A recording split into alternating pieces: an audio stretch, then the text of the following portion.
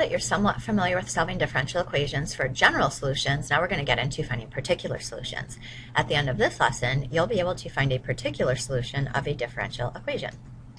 All right, we're going to jump right into the examples. The only difference is going to be you'll notice that we're given some information, and hopefully you're used to that. When we're given information, we'll actually find the c. That's what makes it a particular solution.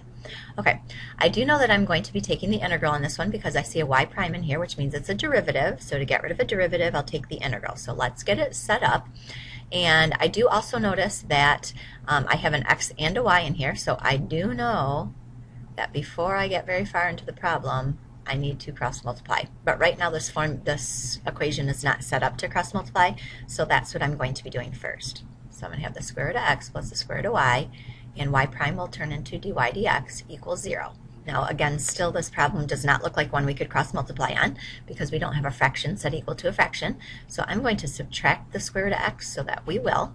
So now I'm going to have the square root of y dy dx is equal to negative square root x. Okay, now from here, let's make the left side a true fraction and we'll make put a 1 underneath the right side to make it a fraction.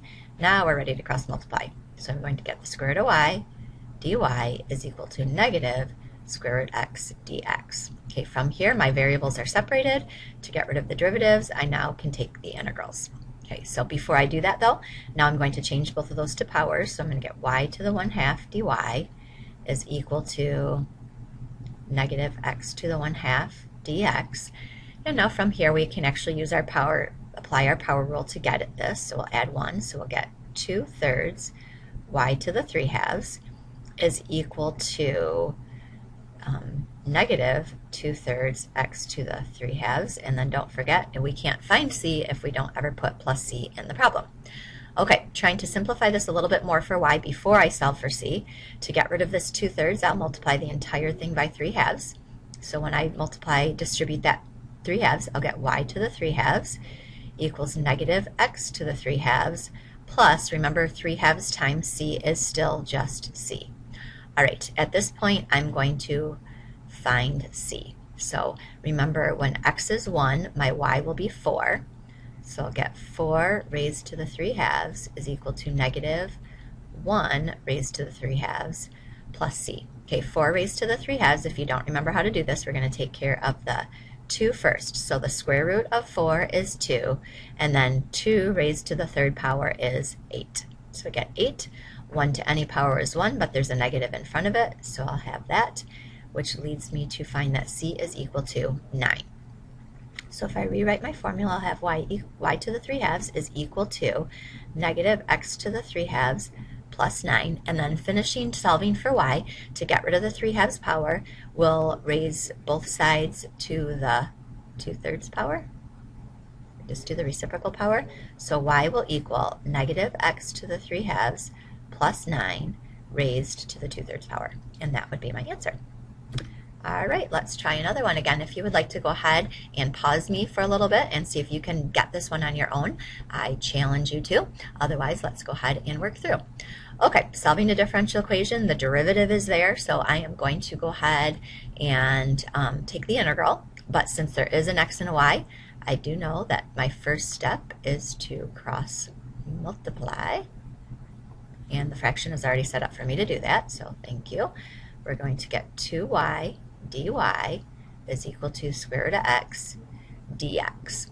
All right, set up, the y's and x's are separated. I can go ahead and take the integral of both sides. All right, using my power rules on my left side, I will simply just get y squared. And then on the left side, I'm going to rewrite this as x to the 1 half. And then if I use my power rule on this one as well, I'll get 2 thirds x to the 3 halves plus c. Okay, and before I solve all the way for c, I, usually it's easier to find c at this point before we take the square root of both sides. So from here, again, when x is 0, y is negative 4.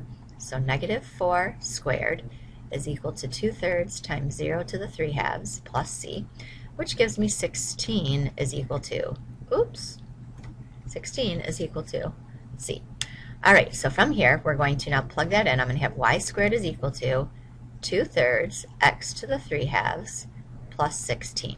All right, now finishing this up, to get rid of the square, we'll take the square root of both sides. So we'll get y equals the square root of 2 thirds x to the 3 halves plus 16. And normally we would we do need to put that plus or minus in front, but since this is a particular solution, the particular solution is not going to have a plus and or minus. We need to decide which one does it need to be. So we're going to keep this particular solution in mind when we're doing that. Um, so I am going to have the, um, just try it out. If I put that 0 back in there, so this would end up being 0 plus 16, which is 16. The square root of 16 is 4. The only way that I'm going to get negative 4 for my answer is if there's a negative sign sitting out in front of my problem. So my particular solution is actually going to be y equals negative square root of 2 thirds x to the 3 halves plus 16. So that is my particular solution, and if you're just joining me back, hopefully you got that as well.